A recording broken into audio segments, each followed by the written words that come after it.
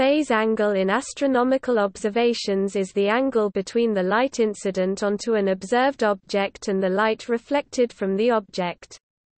In the context of astronomical observations, this is usually the angle Sun-object observer. For terrestrial observations, Sun-object Earth is often nearly the same thing as Sun-object observer since the difference depends on the parallax, which in the case of observations of the Moon can be as much as 1 degree, or two full Moon diameters.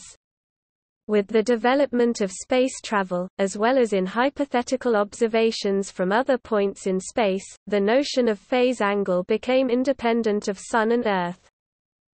The etymology of the term is related to the notion of planetary phases, since the brightness of an object and its appearance as a phase is the function of the phase angle. The phase angle varies from 0 degrees to 180 degrees.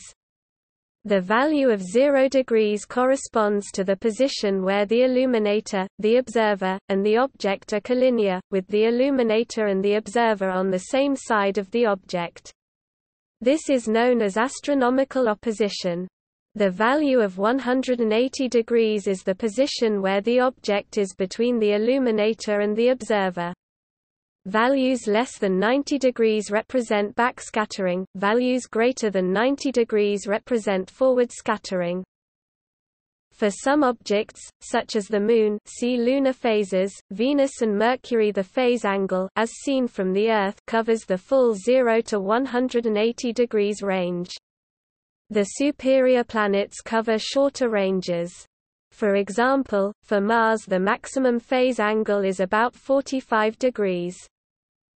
The brightness of an object is a function of the phase angle, which is generally smooth, except for the so-called opposition spike near 0 degrees, which does not affect gas giants or bodies with pronounced atmospheres, and when the object becomes fainter as the angle approaches 180 degrees.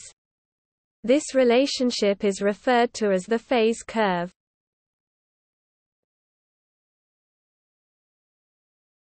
Topic. See also Illumination angle